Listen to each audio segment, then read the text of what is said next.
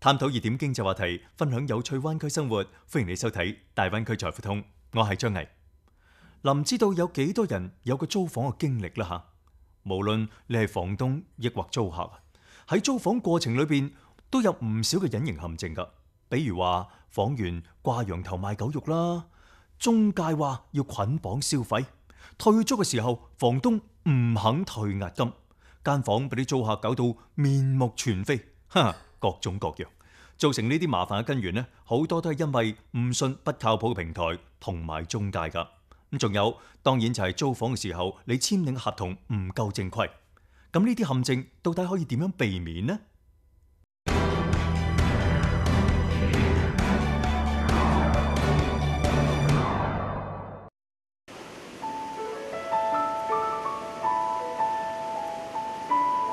佳佳系今年啱啱参加工作嘅大学毕业生，啱啱陷入社会，佢遇到嘅第一节必修课就系租房。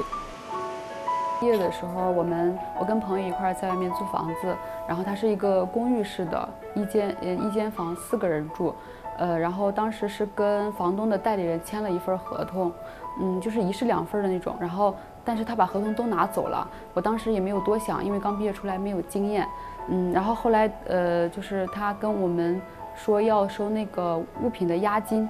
然后呃我们就差不多每个人一百多块钱，等到那个。呃，就是租房完了之后，然后我们他就没有给我们退那个钱，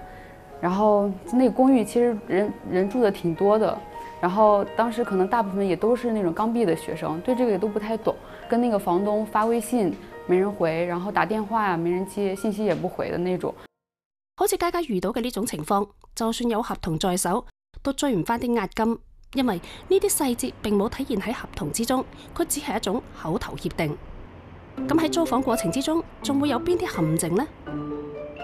啊，房東，到了。啊，好吧，你坐吧。嗯，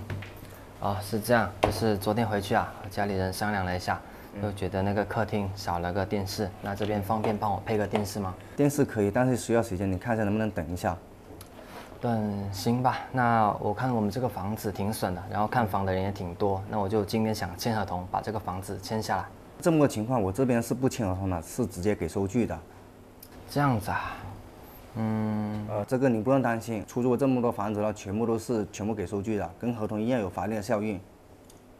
那好吧，那我微信把钱转你。嗯嗯。唔簽合同咁樣會有咩问题啊？其实从法院的角度来说，出现纠纷的你签署的各种的文件，不管你的签署的内容多么简单。其实它都是有效力的，只是说这种效力是不是能够保障你的权利。如果双方只是做一个收据的这种交割了之后，没有再签署具体的一个租赁合同，那么第一，除了这个押这个资金交付的事项之外，其他你没有明确约定的话，当你发生纠纷，那么你们双方约定的事项究竟是什么，你是证明不了。那么发生纠纷之下的话，法官因为你证明不了你的这个主张的依据，那很可能就会判你败诉。亦即系话冇正式约定嘅合同文件，租客可能会遇到房东违约唔租、押金唔退、未到期升租金，甚至被退租嘅情况。同時，雙方口頭約定嘅事項亦都係冇辦法成立。如果一旦出現糾紛嘅話，並冇保障到租客權利嘅證據。所以簽署正規嘅租赁合同，約定雙方嘅權利義務就好關鍵啦。咁同時仲應該向靠譜嘅中介或者係律師、專業顧問尋求幫助，提供參考意見。咁喺簽訂租赁合同嘅時候，需要注意啲乜嘢呢？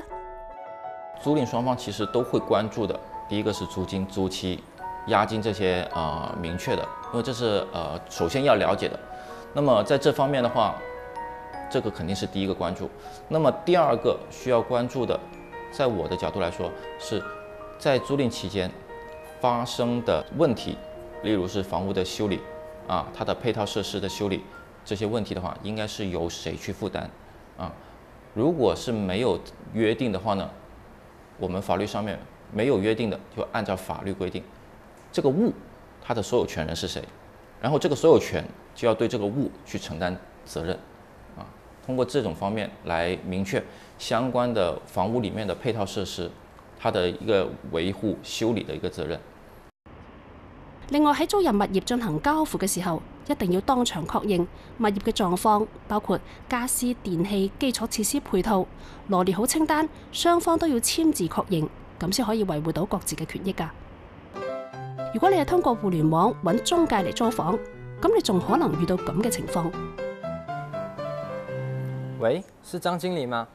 呃，是这样，我刚才点了那个链接，那套租房现在可以看吗？可以是吧？哦、好，行，那我现在过去啊，嗯，拜拜。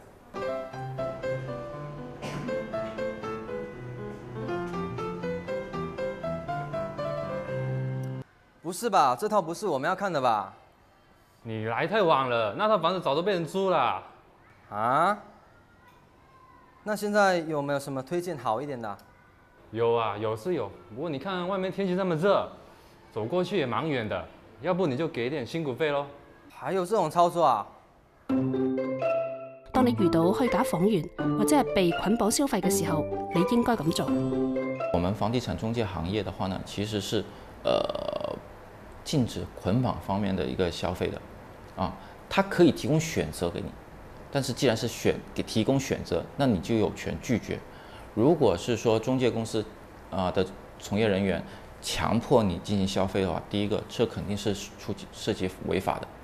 按照刑我们的刑法里面有个叫做强迫交易，如果是说是涉及到啊、这条底线的话，那绝对是啊、公安机关是可以强制介入的。那么如果他只是啊、没有去到那么严重，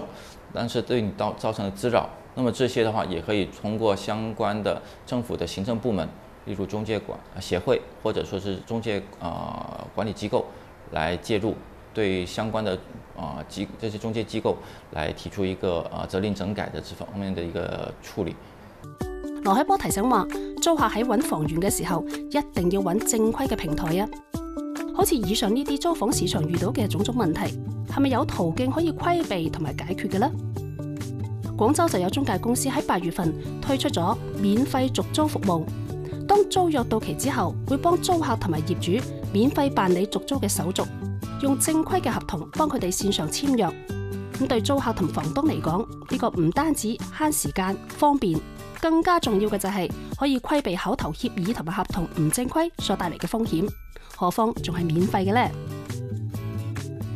租赁业务上面的回升也会非常明显。在回升的过程中啊，近期有没有发现，就是有一部分潜在的需求就会释放出来，合同到期了，合同到期以后，他现在可能需要去办一些像租赁备案啊，或者他可能想继续再续租下去的时候，这时候找到很多中介的时候，中介都会说要重新再收一次费用。